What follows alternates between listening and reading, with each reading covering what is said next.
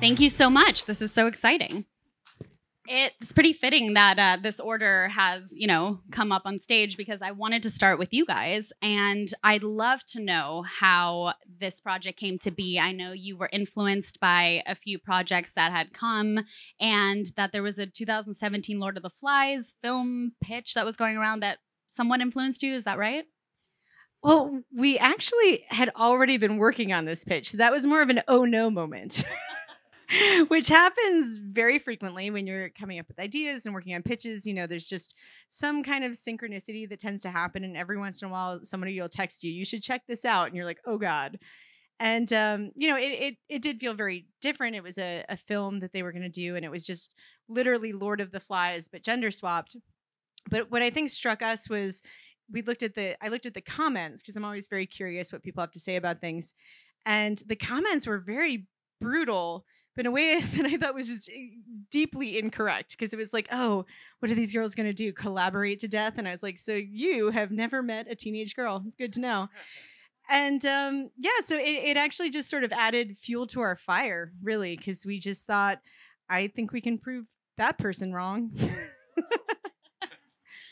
and I know Melanie was the first person cast, right? Um, Melanie, what did you think when you first got the script and what made you want to be a part of it? I honestly, I just, I thought it was so well written. I just was like, this is great. I, I wished I had episode two, which is always a good sign. And I was like, oh, I'm like hooked. And there were just a couple of little things about Shauna where, you know, the scene with Taissa in the diner in the first episode where her powers kind of revealed. I was like, oh, that's interesting because she's been sort of subdued um, for most of the episode and like literally scrubbing shit stains out of underwear. and then I was like, oh, okay. She was very powerful once. And I just was really interested. And then Karyn was a big draw for me too, as I've always wanted to work with her. And then as the cast grew, I just was like, are you joking? It's like Christina Ricci and Juliette Lewis. And it just got like better and better. And Christina, what about you? I loved the concept. Um, I loved the way that um, these characters were not given any special special handling just because they were women.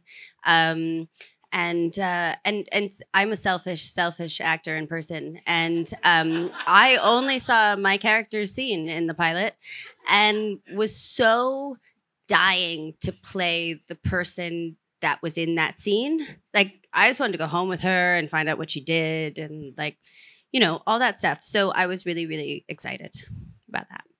And Karyn, I'd love to know how you kind of got involved with Yellowjackets. Uh, I also I read the script a couple times and embraced how thorny and crazy and beautifully written it was and what I loved was every single character from Shauna to Misty to Taissa to Natalie, every single person felt like they were standing at the edge of a cliff, but I didn't understand the cliff. I didn't know how they got there or where they were going.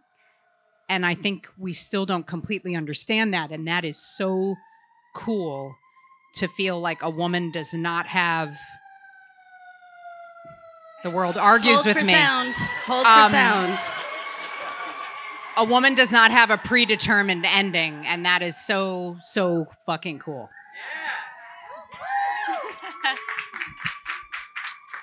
And you uh, directed the pilot, which is, you know, not only introducing us to the season, but also the series. And it includes the plane crash, right? Um, I'd love to know from everyone, kind of, except you two, because you're not in the plane crash, but, you know, um, what kind of went into that? And was there pressure to kind of rope everyone in with the pilot and that scene?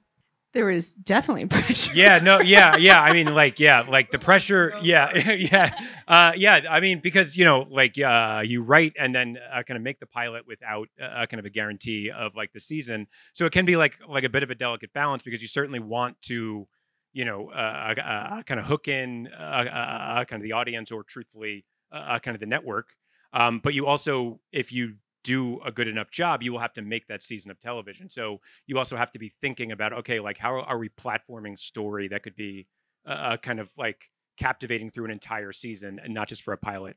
And so, uh, kind of Ashley and I have like an incredibly thorough um, process that uh, people have often taken a kind of note of, like throughout our entire career, almost every pitch that we ever gave. Um, as soon as it was over, the first thing that we would hear was, that was really thorough, which is not really like the first thing that you want to hear.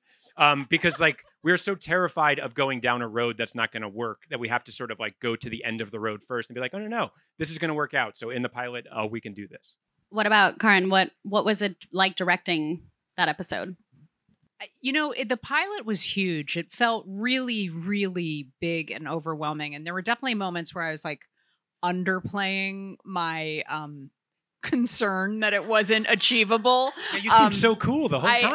I, i'm so happy to hear that because i definitely was like this is fucking impossible. But but it it you know what? It was such a great team of people and it was such a good team of people like nice people and all the actors were game and like bringing the thunder in in and not knowing i mean like christina you didn't know where misty exactly was heading but you committed to the uncanny and that's a really hard thing to do when you don't know where you're headed. So it's just like so many pure actors. And so that the pleasure of that, just seeing actors just bring their best work, made it just a lot of fun. So it, it was a great experience. Oh, I was just going to say, I remember, you know, we shot the pilot um, independent of the rest of the series, and we did a table read right before we shot it. And I remember we all sat down, and Bart and I went, "Oh my, oh my God! I hope Christina," because we knew what a big character Misty was going to be, but she has basically one scene in the pilot, and we were like, "I really hope Christina's not, you know, feeling weird that she just has kind of this one scene at the end." And then, you know, you sat through the whole table read, and then fucking nailed that scene at the table read, and it was. Thanks. I was so nervous. I got fired at my last table read. I so- think you did say know, that was before like, the table oh. read. Like, no. Yeah. like you like she stole the table read the entire crazy. table read. I think she got like a to it, standing guys. ovation. I got like chills all over my body. I was I think I was like like I just was like, "Oh my god, this is crazy." But first, there was a lot of fear in the room, like because it was just the way you said it was like, "Whoa," and then it was like, "Oh yeah, she's acting. It's great." Oh. Well, that's really nice to hear, everybody. I feel so good about myself right now. And Christina and Melanie, you guys never share scenes, obviously, with the younger counterparts of your characters. I know a few of you guys are over there, which is nice to see. Oh, it seems crazy that you guys have never shared scenes together because the resemblance, not only physically but emotionally, is so uncanny, right? Did you prep together for certain scenes? Did, what were the conversations like with your younger counterparts? Well, with Samantha and I, Samantha Hanratty over there, fantastic, amazing actress. Um, we met before the season started and just had a lunch, and we talked about how we saw her, what kind of conclusions we had come to separately, references we'd been given, um, and we discussed, you know. Samantha told me how she'd be playing Misty, and then I sort of let her know how I thought the 30 years would have influenced her and what I was going to add that was that wouldn't probably be in her performance. And um, we talked a lot about that. And and then also, you know, uh, there were certain times in the scripts when the either the the, the, the present would mirror something that had happened in the past. And anytime that happened with our character, whoever did it first would talk to the other person so that we could find a way to, to definitely evoke that feeling of repetition. Melanie, what about you?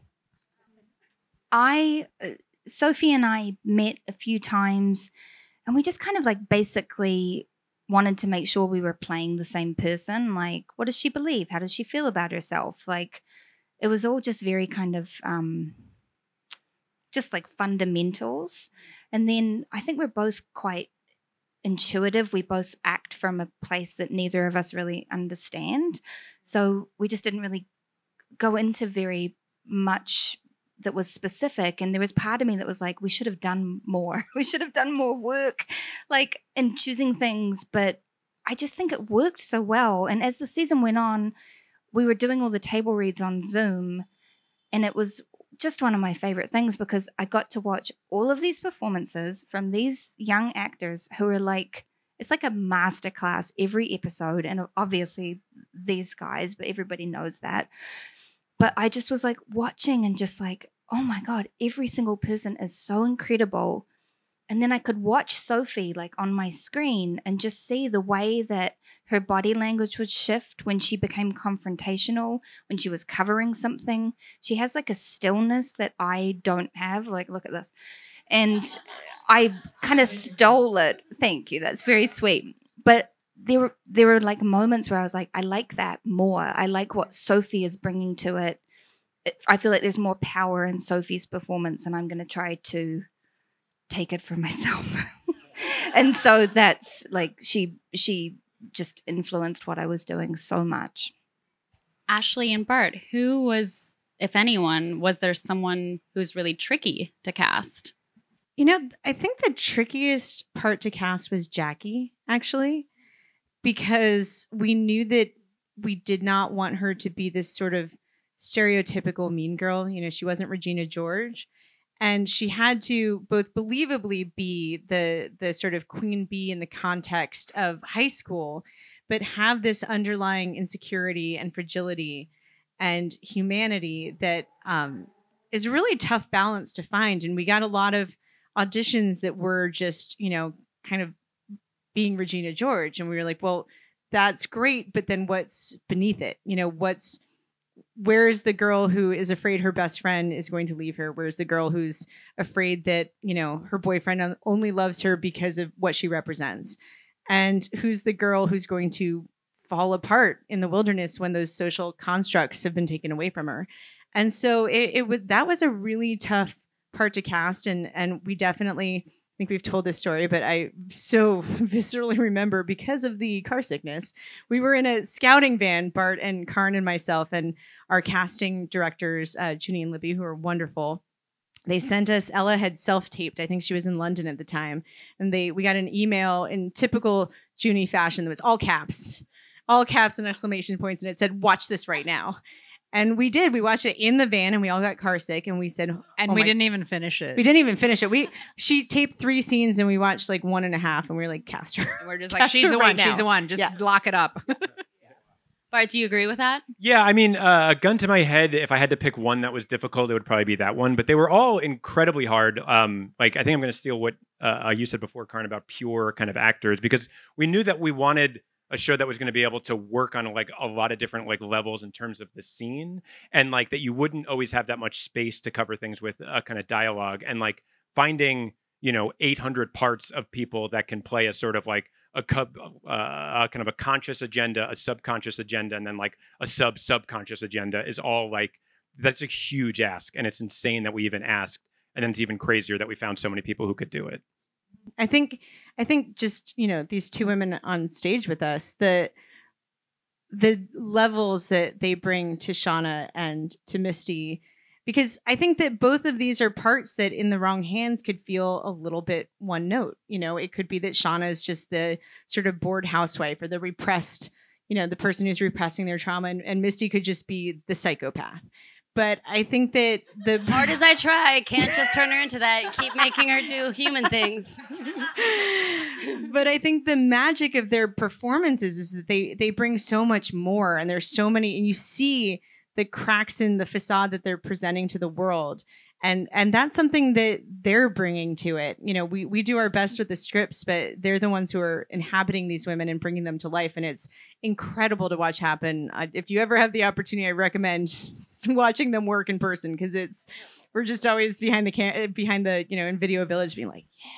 But honestly, if really we didn't, good. I mean, it's all on the page. Is the thing we have? We have. I mean, to to get to start at this place and just like add stuff and not add stuff because we don't need to most of the time is really like so amazing. You can't do your best work if you know what I mean. Like we need the excellence that you provide in order for us to do our best work. So, um, so I mean, thank you so much, but it's only because of what the material we're dealing with.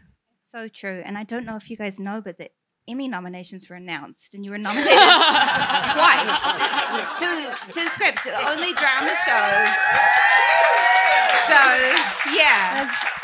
I, like I think like it's kind of confirmed like that you're amazing. So It's funny because it was I don't know how many years ago, but Bart and my um, agents, they you know as agents do, they're like, "What do you guys want? Like, what do you want next five years to look like? What are your dreams?" And uh, I think I think I said I want to be invited to the Emmys, and they said, "You mean you want to be nominated?" It's like I don't. Let's not get ahead of ourselves. I just would like to go. Thank you for bringing that up, Melanie. Um, Melanie and I spoke the day, like two hours after the nominations came out, and I know where she was when um, the nominations came out. But I'd love to hear, you know, where you guys were and how you celebrate. I know Melanie went to go buy a fridge, which I'll never forget that you said that to me. What I'll never you get? forget it. I actually really want to know. Was it one of those fancy ones that tells you when you're out of stuff? No, it's Oh. one that you can. It has different color panels. It's a Samsung fridge. It was supposed to come on July twentieth, and it's delayed.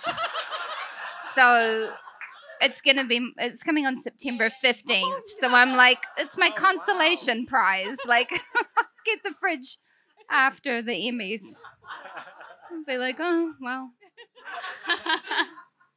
Christina, where were you when you found out about the nomination? I was asleep. Um, I have an eight month old child, and it was my turn with the teething baby. Um, and um, well, basically, actually, my husband said, I will take the baby tonight. You have Emmy nominations being announced tomorrow. And I was like, I won't be able to sleep anyway. So, but then she woke up every 40 minutes. So at 5 a.m., I was like, take this child. I'm going to sleep.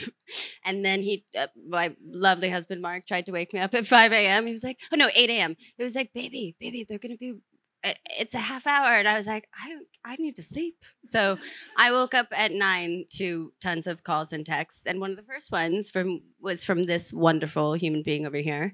Um, and- but I realized I didn't know you that we're supposed to do phone interviews afterwards, and I missed them all. But it's okay. It was great. It was fine. Melanie, do you want to tell the lovely crowd what or uh, what you were doing when you found out? I was doing a similar thing. I was also sleeping because uh, when you have little children, you sleep whenever you can. And I also have a hero of a husband who got up with her that morning. Um, but then something woke me up, and I looked and I had texts on my phone. I was like, either I'm going to wake up naturally and there'll be no texts on my phone, and I'll be like, well, I got a good sleep, or there's going to be, you know, and it was an exciting way to wake up. That's how I felt too. I was Yeah. like, it's not like they're not going to tell me. Yeah, like someone's going to tell you. Either there'll be lots of notifications or there'll be nothing. exactly. And I was like, I was so excited. And then when I saw that Christina was nominated, I was like, Christina! like, you can ask Jason. I like lost it. I was so happy. It was a really exciting morning. Karyn, what about you? Um, I was on vacation in a place that didn't have great internet connection. So I was actually just not paying any attention at all. And then I got my phone. Some people were like, congrats about Yellowjackets. And I was just like, thank you. I love the show too. and I just kept writing back. And then I was like, what? And then finally I was like, to my publicist, which is a kind of very bourgeois thing to just have to say. But I just was like, why are you texting me? And she's like, you got And I was like, oh, wow, that's so great. So it was a great way to learn in kind of total blindness and ignorance. It was really fun.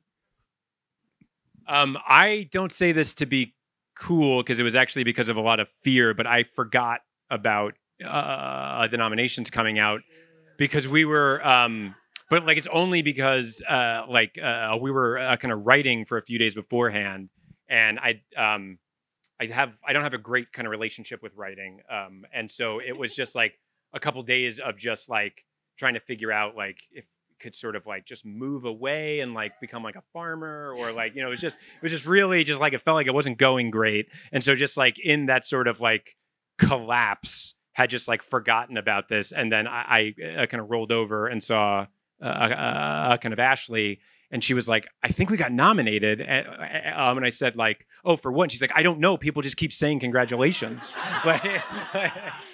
Well, I I had not forgotten, but in a bad way, because as Bart said, we were we've been working very diligently on scripts for season two. Um, despite what he's saying, they are going well. we Oh, just yeah, no, yes. writing yes, is no, yeah. terrifying, you guys. So it's all we always think it's you know it's it's a whole thing. But I remember we were we were up pretty late, and then we were finally trying to shut it down and get some sleep. And it was like 3 a.m. And then my brain went, tomorrow's the Emmy nominations. I went, fuck. no, I'm never gonna sleep. I think I fell asleep at like 6:30. And um, and then I woke up when our lovely executive producer Drew Comins, who's standing right there, uh, I guess my um my note my silence notifications had finally gone off, and so I woke up to my little sleep mask going incoming call, incoming call. And I saw that Drew had called 10 times, and I was like, oh, that's probably a good sign. And uh, thus, the weirdest day of our life began. We also did not know that you had to do a, a kind of interviews, and it was just like, oh wow, this is like, yeah, I guess we're not working on scripts today. It is a crazy morning. I can attest to that. Um, Christina, Melanie, I'd love to know what your most challenging scene was of season one. So the second episode of the season uh, was a very heavy Misty episode after the pilot where I only had one scene. And I found Misty doing things that I was just like, oh, weird. Wow, it's so, wow, I would never, wow. All right. So dating, um, I had to like really wrap my head around that and figure out a way in and figure out how it's going to work. And I think it was just a bit of a, it was a second. And I think too, I've heard this a lot from people that first seasons are about finding things. And that uh that, you know, I hadn't really found exactly who she was, I don't think yet. And so that was a difficult that uh, the dating scene itself for me was very difficult. Not like difficult like I can't do it, but just like trying to wrap my head around how she would be coming at this in a way that made sense for me. Um, just because with her, I just feel the need to always ground it in something very real and banal, or or not banal, but at least real. So that was difficult for me. Um, but I worked it out. Can I just interject and say that in the Zoom table read of that particular scene, I was crying because I felt like, oh my God, it, what's going to happen is so magic. And even if you were still finding it, it was just really amazing to see the facility you had with it. It was really Thank you. truly no truly a pleasure. Yeah, I felt very blind. you know, I, I think what was interesting is you got to what our intention when we wrote the scene was, which oh, is that good. Misty So I was right. You were right. Okay, because everybody told me I was wrong that whole No, time. because uh, what we always The whole time we were about- shooting it, I was like, "No, I think that's No, what it is." no, and they're no, like, "No, it's- no, no, it's not." I because like, it "Yes, was, you know, to our yes, minds. Yes, it is. But uh, to our minds, Misty is someone who's really just looking for connection. So it, while she was sort of putting on this facade of sexuality because that's what she believes is what facilitates connection, it's very unnatural for her. And I think that you played that so beautifully because you know everything about Misty is just a tiny bit wrong. You know, just she's just can't quite figure it out. And I think that that's what that scene was really about was her yearning to really truly connect with someone and just not being able to do so. Yeah, and I think too for sometimes with Misty is that with human nature, uh, you can get to a place where you're no, you're like, I'm not doing that anymore. Like I know better. I'm never going to do it. But your compulsion is just to keep doing it, uh, to keep trying to make to connect with people, to tr- keep trying to grab and hold people. And sometimes I think that's difficult to play the compulsive nature while you're still this person who has evolved past that need. So I guess that for me with Misty was what was difficult in those scenes. Something you said in the cover story, which if you guys haven't read, uh, you should read it. Um, you said something so interesting about your character, and you might have to like remind me exactly of the quote. But Misty isn't someone you'd look at and be like, you know, oh my god, she's this powerful presence. Um, Um, I probably said that she she is not a person who has any social currency, and this is a person who has learned to um, mechanize and weaponize the things that would be seen as. Uh, as uh, negative socially. So she c- cultivates this appearance of being completely innocuous, um, invisible when she wants to be, um, doe eyed and like chipper and just like maybe annoying, but that's it, you know? so I think that's like, uh, that was probably what I said. But I also think that we were talking about uh, costume and wardrobe, and I was saying I wanted her always be somebody that like you'd probably seen that kind of person before. You weren't terrified, but you also knew better than to make friends with her, and that's what I wanted her to evoke when you saw her. It's like, oh, I know that lady. There's a reason we don't talk to her at break. Good point. I know we have to wrap up soon, but I'd love to, you know, kind of talk about how the sh- the season ended. A few questions were left unanswered, but what what can we expect for season 2? You just said you were writing it, so give us something. This always feels like a trick. Just FYI, our our wonderful colleagues at Showtime are here, so I'll get in actual trouble immediately if I give away too much. I mean, you know, I think that we've talked about the fact that you know season two for the the wilderness storyline is very much their first winter, and um, all the challenges that you can imagine go along with that. I think we've called it the winter of their discontent. And then in the present day storyline, you know, they've they've uh, dug themselves some holes, and uh, that's going to be an issue. I know. Don't give me that look. I'm trying to get clues because I don't. You haven't let me read anything. And, I understand. You know, I, I think we we strongly imply that there may be a new, um, you know, a new person coming back. I know. No, I'm kidding. I'm kidding. we may be seeing, you know, some new dynamics, and there may be, you know, a, another survivor um, coming back into the mix.